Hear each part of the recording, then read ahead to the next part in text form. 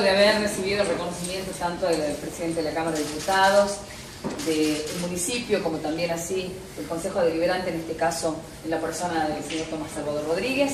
Nos gustaría escuchar unas palabras de quien es el homenajeado y a quien están esperando la prensa para su.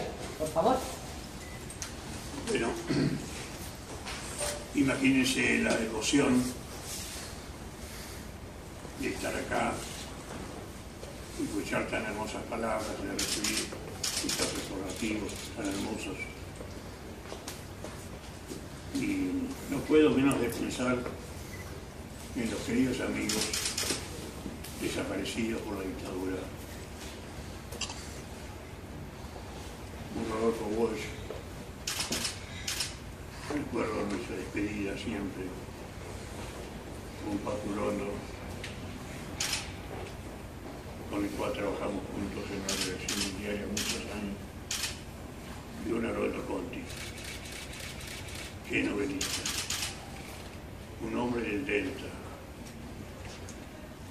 Cuando hablábamos yo le veía en los ojos pasar el río Paraná y las islas del Delta, porque no podía estar sin hablar de las islas del Delta. ¿Y cómo lo mataron, por? Ellos sí que merecían todo esto. Merecen el recuerdo. Y sí, y se los recuerda mucho. He estado en, muchos actos recordando su memoria. Bueno, estar aquí también, en Salta, la querida provincia. Tantos años Recuerdo que vine la primera vez como adolescente para ver todo este paisaje, los hermosos días que pasamos. Y seguimos la lucha, no hay otra. Seguimos. Porque siempre sostengo que mientras haya villas miserias, no hay una verdadera democracia. Porque una democracia tiene que ser capaz por lo menos de dar un techo digno por lo menos a las familias con hijos. No hay una verdadera democracia mientras tengamos niños con hambre. Y no hay una verdadera democracia mientras tengamos gente sin trabajo. Hemos dado un paso importante. Mandar presos a los autores de los crímenes del Estado. Yo pasé con mis 87 años hace 13 dictadores militares. Todos murieron en la cama de sus residencias, cobrando sueldo de general. Y esta es la primera vez que pude ver a un dictador, el de la desaparición de personas que murieron en una cárcel común. Estamos ya con un nuevo ritmo sigamos adelante en ese sentido. Y bien, podríamos hablar tanto de toda nuestra historia. Y hoy, si me permiten, no sé si a ver, fue el programa, sí. voy a dar un, un repaso muy, muy, muy ligero a nuestra historia. Justamente he escrito un libro con otros historiadores profundos, buscando la verdad histórica. Se llama Historia de la Crueldad Argentina y hablamos de los genocidios que sufrieron los pueblos originarios. Es increíble. Esos hombres de Mayo, un Mariano Moreno, un Juan José Castelli, Manuel Belgrano. Las disposiciones que tomaron inmediatamente de la revolución de 1810 con los pueblos originarios. Al llegar al Paraguay, Manuel Belgrano produce un decreto por el cual dice textualmente a partir de hoy se devolverán todas las propiedades de tierra a los pueblos originarios que les fueron robadas por los conquistadores españoles a partir de ese momento van a gozar exactamente los mismos derechos dice textualmente que nosotros, los hijos de europeos, hemos tenido la suerte de nacer en, este territorio. Juan José Castelli cuando llega al Alto Perú, exactamente lo mismo. Le devuelve los derechos, las propiedades que les han sido robadas por los españoles y también, exactamente igual, es la igualdad ante la ley.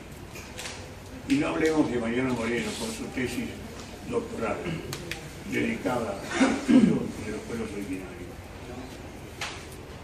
¿Qué nos pasó a los argentinos después? Yo encontré en el Archivo General de la Nación el contrato de Bernardino Rivadavia, primer presidente argentino, por el cual lo contrata al coronel europeo Federico Rauch. Increíble, hay que leerlo 20 veces si no, no lo puede creer. Se contrata, textual, se contrata al coronel europeo Federico Rauch para exterminar a los indios ranqueles. Rivadavia no se toma ni siquiera el trabajo de poner por qué hay que exterminar a los indios ranqueles. Si después, muchos de ustedes habrán leído el, libro,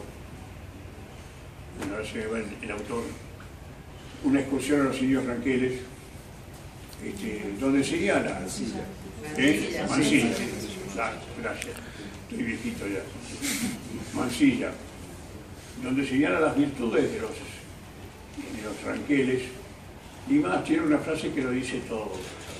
Dice, los hombres ranqueles tratan mejor a sus mujeres que nosotros, los de origen europeo. Y hay que leer, están los, los partes militares de ese coronel europeo que viene a exterminar a los indios ranqueles. Textual, el primer comunicado dice, hoy para ahorrar balas hemos degollado a 27 ranqueles, occidental y cristiano, el militar. Yo no lo podía creer. ¿Cómo para ahorrar balas? Y además ni siquiera se toma el trabajo de por qué hay que degollarlo a los indios ranqueles. No, hay que degollarlos y nada más. Bueno, sería muy largo comentar cada uno de los comunicados del coronel Rauch, firmados por Rivadavia también, para que fuera la prensa. Pero Rauch la va a pagar muy caro. Un indio llamado Arbolito, le decían Arbolito porque tenía el pelo muy largo y desde lejos los soldados veían y decían, ahí está de nuevo Arbolito espiándonos. Bueno, Arbolito los va a espiar siempre desde, lejos y una vez que se adelanta el coronel Rauch y toma una hondonada, rapidísimo, el arbolito le va a bolear el caballo, cae el orgulloso coronel europeo y arbolito le va a cortar la cabeza. Qué salvaje, ¿no? ¿Cómo se puede cortar la cabeza a un oficial europeo contratado por el presidente de la nación? Bueno, así podríamos realmente relatar estas semanas enteras, relatando el exterminio de los pueblos originarios que hicimos los argentinos, no ya los españoles. Justamente el diario de la Nación ha publicado hace muy pocos días una hoja entera con un dibujo grande de de Roca con este, historiadores argentinos y, por ejemplo, eh, Racedo, un escritor, dice que Roca fue el mejor presidente que hemos tenido los argentinos. Bueno, justamente hoy en la contratapa de página 12 yo les he respondido a la Nación de esos dos historiadores con pruebas están todos en el Archivo General de la Nación.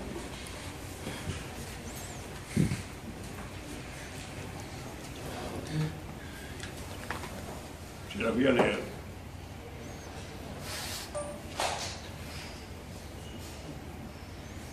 El primero de diciembre, el primero de noviembre de 1878, en plena campaña del desierto, así denominada por Roca,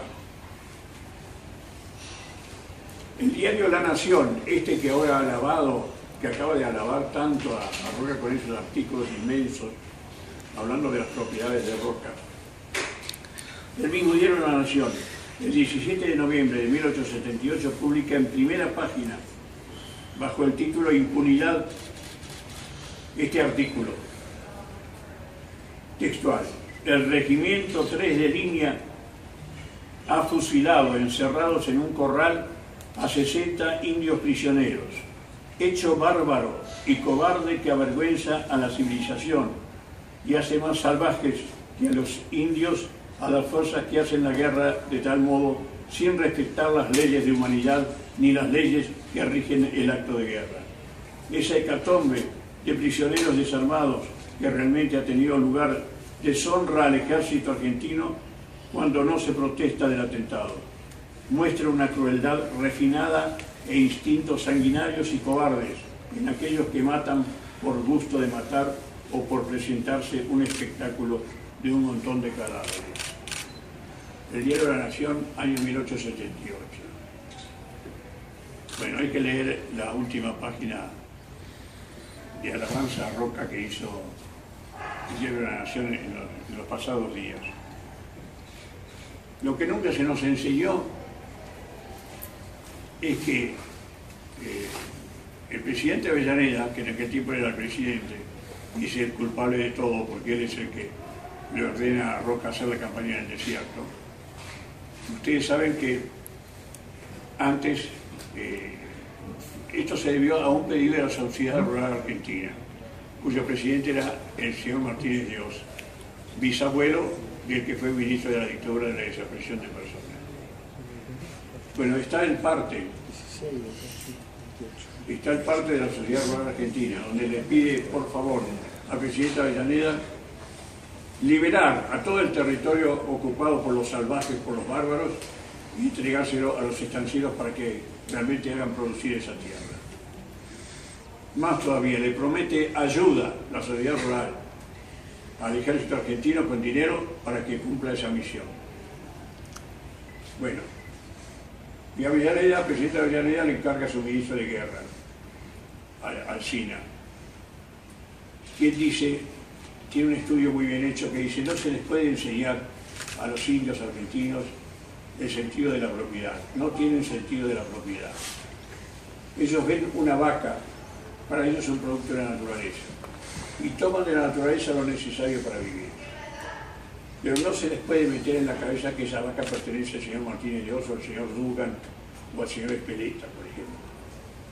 Entonces, recomiendo, señor presidente, que se haga una zanja, que va a ser llamada la zanja de la China, a todo lo ancho del país, de 3 metros de ancho por 5 de profundidad. Porque vienen los indios y pasan porque son muy buenos jinetes, pegan el salto, pasan la zanja, pero cuando quieren llevarse la vaca, la vaca tiene tronco corto, no puede saltar y si le empujan se va a caer adentro de la zanja. Y así los indios van a aprender a, no llevarse más ninguna vaca y a aprender también el concepto de propiedad particular. Y comienza a hacerse la zanja de China. Algo increíble. Si ustedes ven, eh, van por la zona de Tandil, hay todavía resto de la zanja de China. Ya bastante tapada por la tierra. Se hacen 600 kilómetros.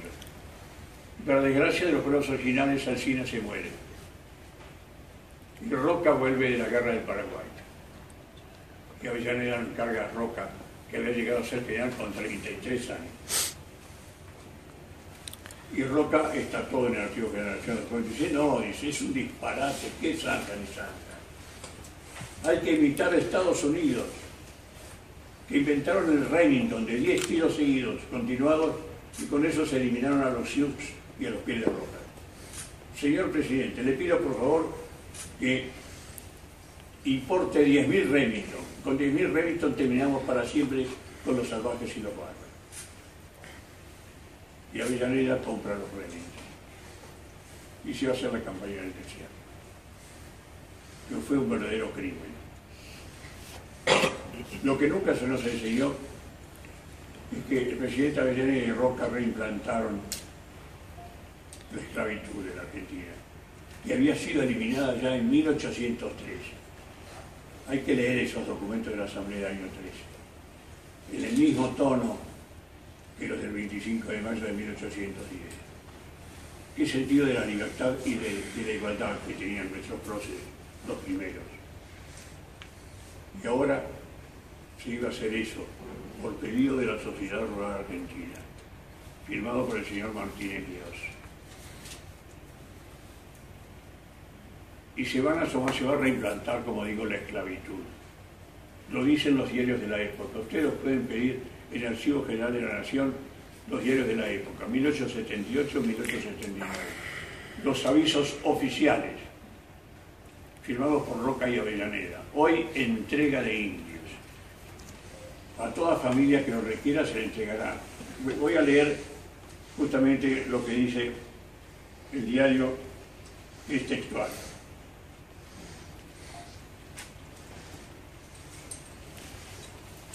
El diario El Nacional de Buenos Aires en su edición del 31 de diciembre de 1878. En los demás diarios también se pueden leer esos avisos. Bueno, esta es una crónica. Llegan los indios, sí, primero voy a decir los avisos oficiales. Hoy entrega de indios. A toda familia de bien que lo requiera, se le entregará un indio varón como peón, una china como sirvienta, una china, en ese término despectivo hacia la mujer india, y un chinito como mandadero. Se reimplantó también la esclavitud de los niños. Eso lo hicimos los argentinos, lo hizo Roca. Le voy a leer una crónica de los periodistas que asisten a la entrega de indios en las plazas. Esto lo hace el diario Nacional, pero todos los diarios traen también este, esta entrega de indios. El diario Nacional, el Nacional de Buenos Aires expresa en su edición del 31 de diciembre de 1878. Llegan los indios prisioneros con sus familias. La desesperación, el llanto no cesan. Así que los salvajes, los bárbaros habían llorado. Se les quita a las madres indias sus hijos para en su presencia regalarlos a pesar de los gritos, los alaridos y las súplicas e hincadas y con los brazos al cielo dirigen las mujeres indias. En aquel marco humano, unos se tapan la cara, otros hombres indios miran resignadamente al suelo, mientras que las madres indias aprietan contra el seno al hijo de sus entrañas. Entonces algunos padres indios se cruzan por delante para defender a su familia de los avances de la civilización. Los avances de la civilización. La esclavitud. Bueno, esto podría durar horas y horas y horas, leyendo todos estos documentos. Ningún historiador puede ignorarlo. Están ahí los documentos vivos. Y como digo, lo hicimos los argentinos en 1878. ¿Quién es el que tenemos el monumento más grande en la capital federal? Julio Argentino Ruta, el más cercano al cabildo que nos trajo la libertad.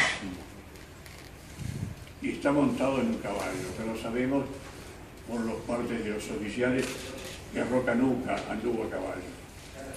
Hizo toda la campaña en el desierto en carroza, acompañado por un sacerdote. Eso está en la crónica de los diarios El monumento más grande que tenemos no es a San Martín, a San Martín lo mandamos a retiro allá tapado por la Torre de los Ingleses. A Roca lo tenemos en ese lugar, a 90 metros del Cabildo y mirando directamente a la casa de gobierno, como diciendo, yo estoy aquí.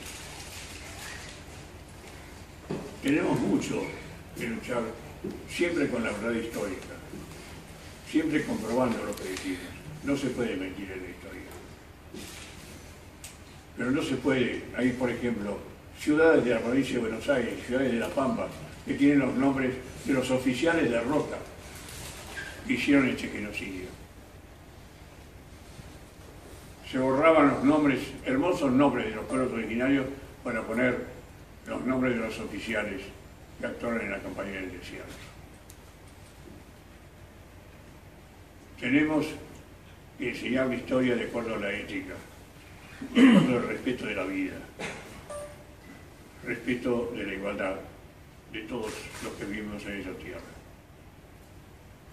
Cantamos nuestro himno nacional. Ved en trono a la noble igualdad. Libertad, libertad, libertad. Qué espíritu, el espíritu de Mayo. Increíble. Bueno, no los canso más, quería hacer esta pequeña introducción.